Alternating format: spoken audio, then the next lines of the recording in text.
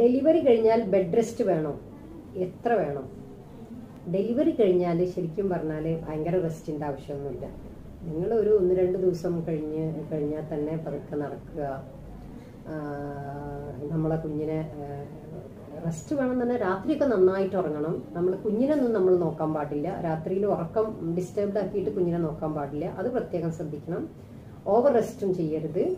അത്യാവശ്യം നടക്കുകയൊക്കെ ചെയ്യുക അല്ലാത്ത പക്ഷമാണ് ഈ ഡി വി ടി എന്നൊക്കെ പറഞ്ഞിട്ട് pulmonary embolism D V T അതൊക്കെ വരിക. എന്ന് പറഞ്ഞാൽ ബ്ലഡ് ക്ലോട്ടായിട്ട് വരുന്ന പ്രശ്നങ്ങളൊക്കെ ഓവർ റെസ്റ്റ് എടുക്കുന്ന ആൾക്കാർക്ക് ഭയങ്കരമായിട്ട് ഭക്ഷണമൊക്കെ കഴിച്ചിട്ട് ഇങ്ങനെ കിടന്ന് ഫുൾ ടൈം കിടക്കുക. നമ്മൾ പലപ്പോഴും കാണാറുണ്ട് ഡെലിവറി കഴിഞ്ഞ ആളുകളെ ഇങ്ങനെ കയ്യും കാലൊക്കെ നീർത്തി വെച്ച് ബെഡൊക്കെ പുതച്ച് അവരെ ബെഡ്ഷീറ്റൊക്കെ ഇട്ട് പുതച്ചിട്ട് അങ്ങനെ കിടത്തും. അങ്ങനത്തെ ഒന്നും ഒരു ആവശ്യമില്ല കയ്യും കാലും ഒക്കെ എപ്പോഴും മടക്കുകയും നിർത്തുകയും ചെയ്യുക.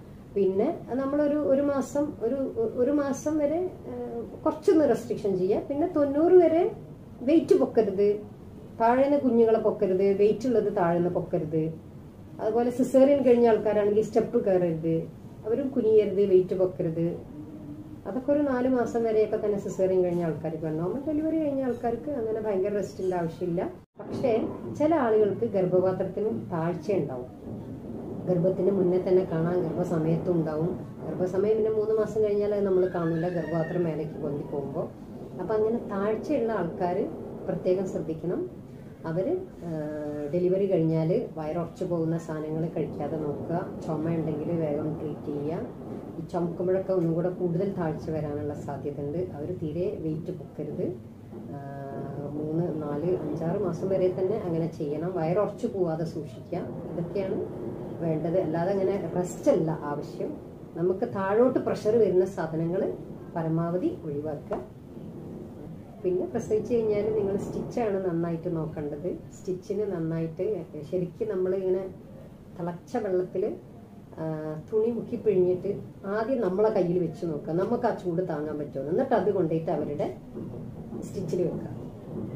അവർക്ക് ചൂട് പറ്റും അത്ര മതി. പിന്നെ നിങ്ങൾ ബാക്കി ബാത്റൂമിൽ പോകുമ്പോഴൊന്നും അങ്ങനെ ഭയങ്കര ചൂടുള്ള വെള്ളം അതിന്റെ ഒന്നും ആവശ്യമില്ല.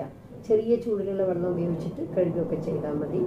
പിന്നെ അതിനൊരു ഞാൻ മുന്നേ പറഞ്ഞിട്ടുണ്ടെന്ന് തോന്നുന്നു അതിനൊരു ക്ലോസറ്റിന്റെ അതേ ഷേപ്പിലുള്ള ഒരു പാത്രം കിട്ടും നാസില ബാത്ത് എന്നാ പറയാം.